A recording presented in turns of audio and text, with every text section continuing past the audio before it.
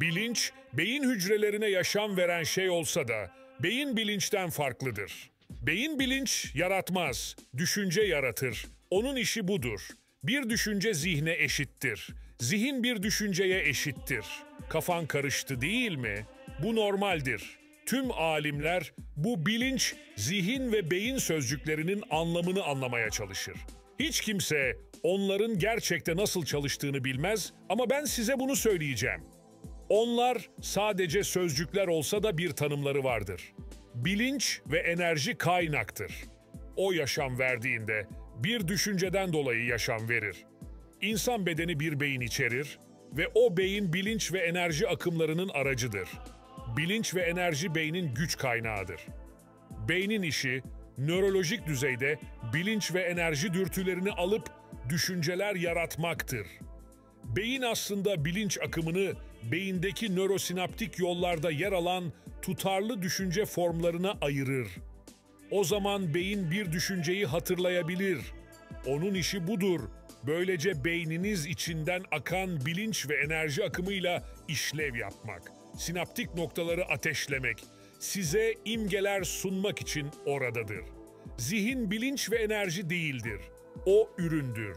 Zihin beyinde düşünce formları veya anılar yaratan bilincin ürünüdür. Siz tüm o anıları alıp bir araya getirdiğinizde siz ben şu kişinin zihninden hoşlanıyorum diyebilirsiniz. Bilinç, enerji ve zihin terimleri arasında bir fark vardır. Daha ileri gitmeden önce bir şeyi anlamanızı istiyorum. Siz burada bir gerçeği değil, bir felsefeyi öğreniyorsunuz. Bu onun bir öğreti olduğu anlamına gelir.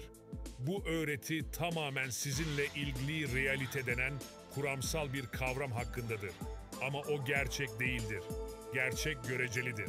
Sadece sizin bildiğiniz şey gerçektir. Eğer başka bir şeyi bilmezseniz o gerçek değildir. Eğer birileri size bu evrenin yanında bir 23.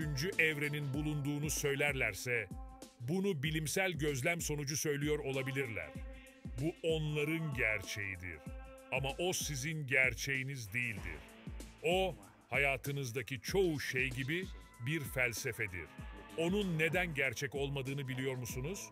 Çünkü siz 23. evreni deneyimlemediniz ve ancak onu deneyimlediğinizde o bir gerçek olur. Size öğretmekte olduğum şeylerden korkmamanızı rica ediyorum. Çünkü bu öğreti harika şeyler yapar. Onu bir felsefe olarak kabul edin ve onu bir kez uyguladığınızda felsefeden gerçek ortaya çıkacaktır. Bunu anlıyor musunuz? Böylece şimdi güvendesiniz. Biz kimsenin inancını değiştirmeyeceğiz.